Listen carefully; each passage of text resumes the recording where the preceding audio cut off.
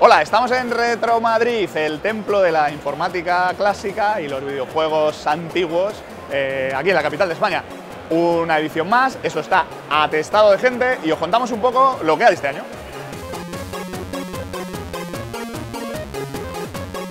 Bueno, pues en Retro Madrid nos hemos encontrado con un juego que no es muy retro, que es muy actual. Eh, ni Lumbra, de la gente de Beauty Fan. Kevin, ¿qué hacéis aquí? Bueno, pues nos han dicho que tenían aquí un stand de juegos indies. Hemos traído juegos, estamos hablando de la versión de Wii U, de la versión de PC, y claro, es que es verdad, nos falta retro, pero estamos pensando en hacer una versión para Spectrum para traerla a Retro Madrid el año que viene. Ah, pues, pues será un pasote. Se verá un poquito más pixelado todo, que también es más indie. Pues yo me lo pido.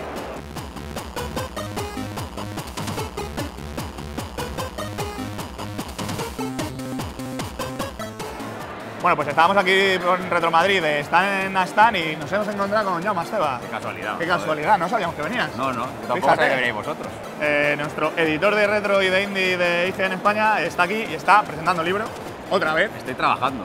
Trabajando. Juegos el fin de semana. ¿eh? trabajando, no como en IGN, y presentando Obsequium. Eso es. Cuéntanos un poquito, ¿qué es Obsequium? Bueno, pedazo de portada, de por- ilustrada por Roswell, que es de los tiempos de Marcaplayer. O sea, Sí, imagínate, todo, todo queda en familia. todo queda en familia. Pues es un libro sobre la abadía del crimen, que es ese gran juego español, para mí uno de mis favoritos, pero bueno, luego siempre hay ese debate de el gran juego. si fue el mejor o no, Sí, en fin. Digamos que es uno de los grandes. uno de los grandes de la época. ¿no? Y, y bueno, después de, de 8 quilates, que era un poco que repasaba la historia del software español, me apetecía Que tenía un capítulo muy gordo sobre la batalla del crimen. crimen. De hecho, es un capítulo eh, en formato, digamos, periodístico, muy de reportajeado, con entrevistas y en formato crónica, digamos, también, ¿no? Explicaba un poco lo que era el juego y vida y milagros de sus creadores y demás. Y me apetecía con este hacer algo un poco diferente y la idea era, bueno, reunirnos con los autores que se ven aquí, son unos cuantos. Son Mucha gente, José Manuel Braña, Enrique Colinet, José Manuel Fernández, Antonio Giner, José Antonio Morales, Juan Manuel Moreno, Manuel Pazos y José Luis Sanz. Algunos están por aquí, de hecho. Por aquí andan y cada uno ha hecho un capítulo, ¿puede ser? Sí, eso es. Bueno, el prólogo es de Morales, que era de ópera, es el de Livingston, supongo, que era amigo de, de Paco Menéndez, el creador del juego. Y la idea era un poco entre todos intentar dar una visión de conjunto del juego, más que explicar lo que ya está explicado en el libro, que eso ya, pues, ya está el libro para ello, ¿no? Un poco un análisis como técnico, científico, así, un poco como de gafas de pasta, ¿no? De gafapasta. No, pero la idea era eso, o sea, intentar dar una, una visión de conjunto del juego desde diferentes aspectos, ¿no? Desde el contexto histórico en el que salió, eh, a nivel de programación, si, si estaba bien hecho, si no, cuáles eran las genialidades que tenía. Luego el, el famoso y polémico sistema de cámaras del juego que iban Sí, cambiando sí. según pasaba una Era un generación a otra. un poco lío.